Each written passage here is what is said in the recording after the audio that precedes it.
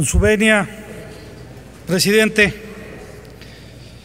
compañeras y compañeros senadores, antes de iniciar, eh, llevo la voz también de mis compañeros del Partido Acción Nacional.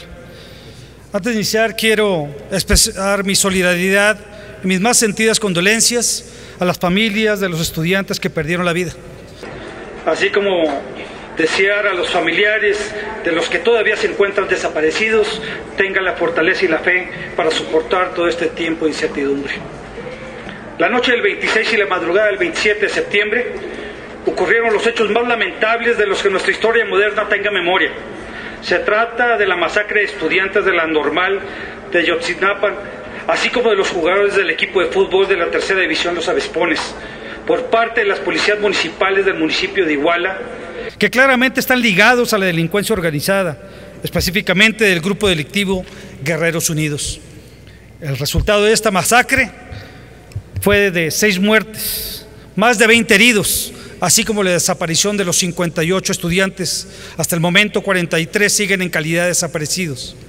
El 28 de septiembre el Procurador General de, de Justicia de Guerrero detuvo a 22 policías por estos ataques el 30 de septiembre el alcalde pidió licencia al cabildo y se fugó sin que hasta el momento se tenga conocimiento de su paradero. También se fugó el que fungía como secretario de Seguridad Pública de aquel municipio. El 4 de octubre, las autoridades de Guerrero localizaron varias fosas clandestinas con 28 cuerpos calcinados. Hasta el momento no se ha dicho si se trata de los estudiantes desaparecidos. Sin embargo, el procurador admitió que llegaron a esas fosas gracias a las declaraciones de los detenidos. De acuerdo a las primeras investigaciones, fue el secretario de Seguridad Pública quien ordenó la detención de los estudiantes y uno de los mandos de Guerreros Unidos fue quien ordenó matar a estos estudiantes. A pesar de que el Ejecutivo Federal pidió a las autoridades asumir la responsabilidad de investigación y deslinde de responsabilidades, también es necesario que el Ejecutivo Federal asuma su propia responsabilidad. Ya la PGR atrajo el caso y está llevando a cabo las investigaciones, pero por supuesto que no es suficiente. Exigimos al gobierno federal actúe a tiempo y no solo con medidas reactivas. Estos hechos reflejan el grado de descomposición social y de los cuerpos policíacos en, en, Guerrero, aunque sabemos que no es nada más en aquella entidad federativa. En muchos estados de la República, los gobernadores están totalmente ausentes de su responsabilidad y peor aún, también están los presidentes municipales. Lamentablemente, las desapariciones forzadas son cada vez más comunes en estados como el que represento, Tamaulipas, en estados como Veracruz, Durango y Michoacán. Y es cada vez más frecuente escuchar a las personas clamar porque aparezcan sus familiares. Durante estos días se ha escuchado mucho que no se politice el tema, que debemos mantenernos unidos. Y yo me pregunto, ¿cómo podemos quedarnos callados ante esta atrocidad? ¿Acaso el tema no es un tema de urgencia nacional? ¿No es un tema que a todos nos debe alarmar?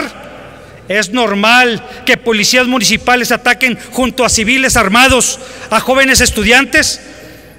¿Acaso es mezquino estar realmente asombrados por estos hechos?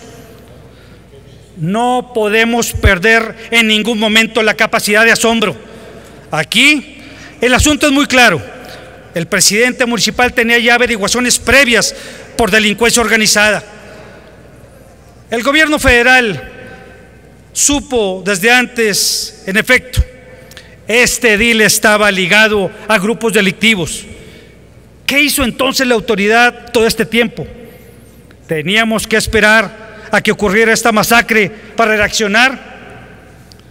¿Y los demás alcaldes?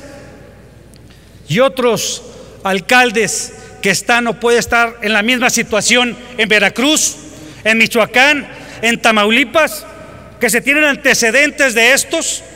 Ah, eso sí, al llegar a la presidencia municipal se justifican diciendo, esos delitos son del fuero federal. Con eso se justifican. Pero lo que no pueden justificar es que exista gente armada por las calles y que estos no las denuncien. Esto es un hecho recurrente que se da en muchos municipios del país. Y mi estado no es la excepción, ¿eh? Donde llegan inclusive a tener ferias, la feria del pueblo, organizadas por quién creen? Por el crimen organizado. Nos van a decir que esos presidentes municipales no están involucrados con los grupos delictivos. Estos actos de violencia que se ven en diferentes partes del país no es producto de la casualidad, es producto de la irresponsabilidad, pero sobre todo de la complicidad de esos políticos que en aras de mantenerse en el poder, o peor aún, de querer ganar elecciones, han entregado lo más sagrado que tenemos los mexicanos después de la vida, que es nuestra libertad. Es por eso que estamos viendo hoy en día esos actos de violencia como los que vimos ahora en Guerrero. Resulta, resulta muy alentador que el gobierno federal presuma la disminución de los delitos como los homicidios. Sin embargo, la realidad que viven los mexicanos todos los días es otra.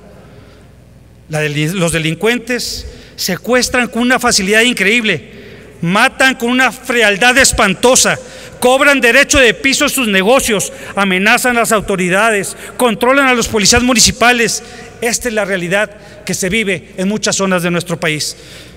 Por supuesto que este tema no debe ser politizado, pero los senadores de Acción Nacional no vamos a ser omisos en nuestro deber de señalar lo que no se está haciendo bien. Aquí, en esta tribuna, lo dijimos muy claro, vamos a apoyar, porque lo hemos hecho, los cambios y estrategias en materia de seguridad, pero vamos a ser muy enfáticos en señalar si las cosas no se están haciendo bien. ¿O ya se nos olvidó? Nosotros no le regateamos al gobierno federal, modificamos la ley orgánica de la Administración Pública Federal para pasar la Secretaría de Seguridad Pública al mando del secretario de Gobernación. Lo dijimos, no estamos de acuerdo. En ningún país democrático del mundo el secretario de Interior maneja la seguridad pública. No lo regateamos, le dimos todo el apoyo al gobierno federal. Por ello, nos pronunciamos porque el gobierno federal dé resultados ya. A dos años de gobierno es momento de que asuman plenamente su responsabilidad. No podemos decir que hemos avanzado en materia de seguridad o en la reconstrucción de la confianza de la policía, cuando 22 policías municipales reciben órdenes de detener y matar a un grupo de jóvenes que se manifestaban porque, se, porque respetaran sus derechos. Peor aún, a un camión que traía a un grupo de jóvenes de un equipo de fútbol profesional. Me parece que es el momento de hacer una pausa de lo que se está haciendo en materia de seguridad. En primer término, se debe señalar con firmeza que no puede volver a ocurrir un caso así. En segundo término, no se debe, se debe aceptar con humildad que la estrategia anticrimen que tanto vendió el gobierno federal no está funcionando. Y en tercer término, no podemos seguir solapando a gobernadores ausentes. Guerrero no es el único caso. Ahí tenemos la historia de Tamaulipas, Veracruz y Michoacán, estados donde desde hace tiempo se pacta con la delincuencia organizada para mantenerse en el poder y para ganar elecciones. Sin duda alguna, el Partido Acción Nacional está listo para colaborar en lo que sea necesario para esclarecer estos hechos. Sin embargo, quedarnos callados nos convertiría en cómplice de aquellos que siguen diciendo que México en materia de seguridad es mucho mejor desde que entró esta administración. La estrategia, la estrategia de medios de minimizar los hechos de inseguridad simplemente no han funcionado. Bajar el volumen en estas noticias no resuelve nada, al contrario permitió a los delincuentes darse cuenta que podrían una vez más atacar lo más preciado que puede tener un ser humano, que es la vida y su libertad. Si seguimos en esta estrategia reactiva de presumir que el asunto se resuelve deteniendo a policías al otro día de la masacre, como fue el caso, estaremos solo resolviendo lo más mínimo del problema y el problema tiene mucho más fondo. Concluyo. Es urgente que se tomen las medidas necesarias para limpiar a las policías, capacitarlas y dotarlas de las herramientas eficientes para combatir el crimen. Pero además, que se establezcan estrategias focalizadas por cada estado, dependiendo de los problemas que tengan. No es lo mismo lo que sucede en Michoacán que lo que sucede en Durango y en Tamaulipas. En Michoacán se encuentran las autodefensas. En Tamaulipas hay 17 cruces fronterizos. Tenemos a Estados Unidos que hoy en día desafortunadamente están pagando la droga con armas y con esas mismas armas están matando a gente de las Fuerzas Armadas. No es lo mismo la estrategia en Guerrero que puede ser en Durango. Es por eso que exigimos y demandamos al gobierno federal hacer una estrategia en cada uno de los estados del país que hoy en día se tienen problemas. Asimismo, es urgente que el gobierno federal modifique esta estrategia policial de reacción y que iniciemos un modelo eficiente de prevención de crímenes, empezando por hacer un frente común contra la corrupción y la impunidad. Hoy fueron los policías, el alcalde y el secretario de Seguridad Pública quienes se sentían intocables e impunes. Mañana, mañana puede ser un gobernador, el diputado, un diputado federal, Así vamos, vamos a resolver el problema de inseguridad.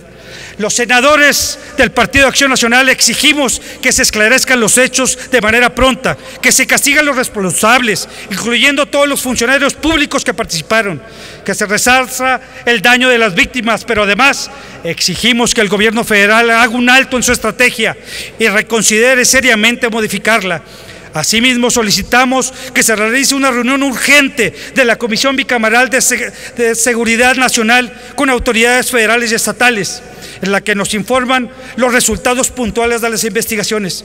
Ya el senador, ya el senador Fernando Yunes Márquez solicitó formalmente el día de ayer que la comisión se, reúne, se reuniera de una manera urgente. Compañeras senadoras y senadores, las promesas ya no son alentadoras. Las cifras de diversos delitos van en aumento, la violencia se recrudece, el grado de penetración de la delincuencia organizada es alarmante, el grado que podemos decir que en algunas entidades federativas existen, existen estados de excepción. El gobierno federal debe de manera urgente empezar a dar resultados en materia de seguridad pública. Dos años es suficiente. Muchas gracias.